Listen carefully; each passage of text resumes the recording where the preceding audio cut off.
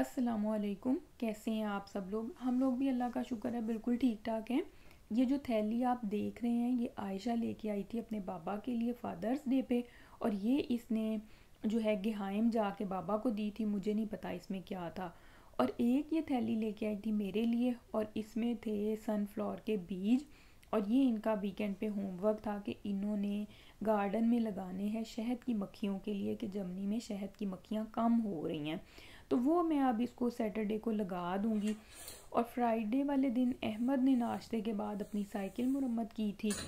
तो वो भी मैंने इसकी काफ़ी हेल्प की थी। और आज जो मेरा दिल कर रहा है कि मैं आपके साथ बच्चों के लिए एक बहुत हेल्दी रेसिपी है केक्स की, मैं वो शेयर करूँ, जिसमें काफ़ी ज़्यादा वॉलनट यूज़ होते हैं। नट्स बच्चों को लाजमी किसी ना किसी फॉर्म में ज़रूर देने चाहिए। अगर तो वो वैसे खा लेते हैं तो वेल एंड गुड और उससे अच्छी कोई बात है ही नहीं। लेकिन अगर आपके बच्चे वैसे उसको कंज्यूम नहीं करते तो आप चाहे उनको केक की फॉर्म में दें या उनको स्मूदीज़ की फॉर्म में दें, ये हर मदर को पता होता है कि हमारे बच्चे क्या लाइक करते हैं। तो माएँ फिर उस हिसाब से उस चीज़ को एडजस्ट कर लेती हैं। लेकिन मैं मैं आपसे रिक्वेस्ट करूँगी, आप अपने बच्चों को नट्स और वॉलनट लाजमी दें। बादाम तो कुछ बच्चे फिर भी खा लेते हैं वॉलनट का टेस्ट इतना अच्छा नहीं होता, बच्चे नहीं खाते। लेकिन जिस तरह मैं आपको ये रेसिपी दे रही हूँ, उस तरह आप बनाइएगा तो माशाल्लाह सिर्फ़ बच्चे नहीं, बड़े भी बहुत शौक से खाएँगे।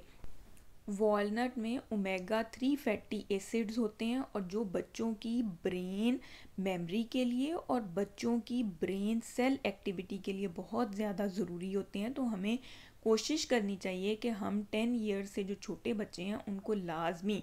खाने तो सबको चाहिए, लेकिन हमें जो बहुत ज़्यादा जिस चीज़ पे फोकस करना चाहिए, वो ये कि टेन ईयर से छोटे बच्चों को लाजमी किसी ना किसी फॉर्म में आप दें। और जब तक आयशा बेक करती है, मैंने आपसे एक बहुत ज़रूरी बात करनी है कि हम लोगों ने अपने बड़ों से सुना है और कहीं ना कहीं हमारी भी ये सोच है कि बच्चे पे हम एफ़र्ट करते हैं कि अपने जोगा हो जाए और हम ये बात इवन बच्चों के सामने भी कर रहे होते हैं कि ये बस अपने जोगा हो जाए। तो मैं आपसे रिक्वेस्ट करती हूँ कि प्लीज़ आप इतनी मिनिमाइज सोच ना रखें। हमने अपने बच्चों को हीरोज़ बना के निकालना है और ये काम हम कर सकते हैं, ये मुश्किल नहीं है। ये सिर्फ़ पाँच या दस साल होती है और मैं जहाँ तक समझती हूँ कि मैक्सिमम आपने पाँच साल बच्चे को बहुत बेहतरीन देने हैं। बच्चे की जो सोचने का और बच्चों की आदात के जो रास्ते होते हैं या जो पैटर्न होता है, इन पाँच साल में वो डेवलप हो जाता है। फिर जैसे जैसे वो बड़े होते जाते हैं, उनके एक्सपीरियंसेस होते जाते हैं तो वो और लर्न करते जाते हैं, वो एक्सपेंड होता जाता है, लेकिन वो पैटर्न डेवलप हो जाता है। और आप छोटे बच्चों के सामने कभी इस किस्म की बात ना किया करें कि ये बस अपने जोगा हो जाए। आपने हमेशा उसको बताना है कि तुम एक बेहतरीन इंसान हो। अल्लाह मियाँ ने तुम्हें अशरफुल मखलूक़ात बनाया है, तुमने बहुत अच्छा बनना है और बहुत उम्दा इंसान बनना है। और बहुत ज़्यादा तालीम पे हर वक्त बच्चों के मार कुटाई और उनकी सारी पर्सनैलिटी हम लोग ख़त्म कर देते हैं। आप बस उन्हें एक बेहतरीन इंसान बनाएँ, वो इन ज़िंदगी के हर फ़ील्ड में बहुत कामयाब होगा।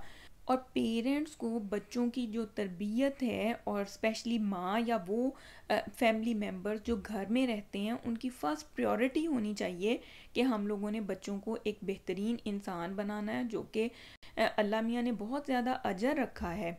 औलाद की जो तरबियत है, जहाँ तक मैं आज तक रिसर्च की और मैं समझ सकी हूँ, ये कब्र में भी इंसान का पीछा नहीं छोड़ती। अगर आपने अच्छी तरबियत की है तो आपको वहाँ भी ये बच्चे सुकून और इत्मीनान का बायस बनते हैं और अगर अच्छी तरबियत नहीं की या कोई गलतियाँ कर रहे हैं तो आपके पीछे वहाँ भी जाते हैं इनके गुनाह।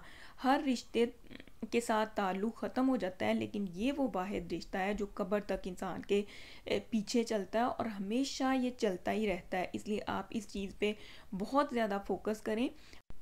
आयशा का माशाल्लाह कंप्लीट होने लगा है और ये मैंने एक बेकिंग ट्रे में निकाला था और इसको जस्ट मैंने बैलेंस किया है, मैंने कुछ भी नहीं किया।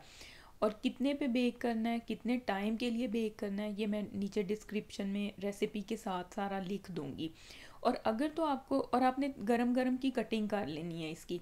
अगर तो आपको चॉकलेट पसंद है तो आपने ऊपर चॉकलेट लगानी है और अगर आपको चॉकलेट पसंद नहीं है, ये चॉकलेट के बिना भी बहुत टेस्टी बनता है। और अहमद को वॉलनट नहीं पसंद, इसलिए मैंने इसके पोर्शन पे वॉलनट नहीं लगाए थे।